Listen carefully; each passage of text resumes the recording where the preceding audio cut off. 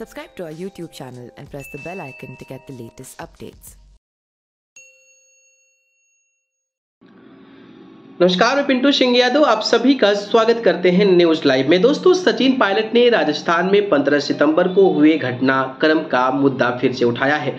Pilot ने कहा है कि सोनिया गांधी की अवहेलना करने वालों पर कार्रवाई करने में अभूतपूर्व देरी हो रही है। अगर आलाकमान के फैसलों के समानांतर इस तरह से वैकल्पिक सरकारों के चलन को कम करना है तो आला कमान को राजस्थान मामले में जल्द से जल्द फैसला लेना चाहिए। हालाँकि अशोक गहलोत के करीबी शांति धारीवाल, धर्मेंद्र राठौड़ और महेश जोशी के मामले में मीडिया के सवालों का जवाब देते हुए उन्होंने कहा कि फैसला कब होगा, ये बेहतर जवाब नेतृत्व ही दे सकता है।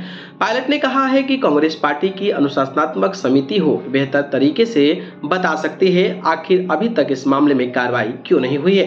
राजस्थान से जुड़े इस मामले में पायलट ने ये भी कहा है कि विधानसभा अध्यक्ष की ओर से हाईकोर्ट में जो हलफनामा दिया गया है, उसके मुताबिक इस्तीफे स्वेच्छा से नहीं दिए गए थे, इसलिए उसे स्वीकार नहीं किया गया है। तो फिर सवाल उठता है कि आखिरकार किसके दबाव में इस्तीफे दिए गए थे क्या कोई दबाव दिया गया, लालच दिया गया या फिर धमकी दिया गया?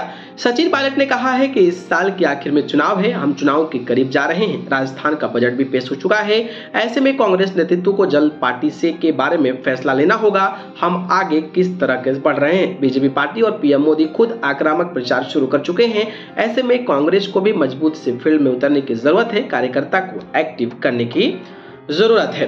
राजस्थान हो या कहीं और, पार्टी की ओर से तय लाइन और फैसला सबके लिए महत्वपूर्ण है। चाहे वो बड़ा आदमी हो या फिर छोटा आदमी हो। सचिन पायलट ने कहा कि पार्टी अनुशासन सबसे ऊपर है, फिर चाहे छोटा नेता हो या फिर बड़ा नेता हो। यही बात हमारे प्रभारी सुखजिंदर सिंह रंधावा भी कह रहे हैं। उस समय सीएलपी की बैठक सोनिया गांधी ने बुलाई थी। राजस्थान कांग्रेस के सभी विधायकों को उसमें शामिल होना था। ऐसे में समानांतर बैठक करने से साफ़ है कि अनुशासनिकता हुई आदेश की पालन।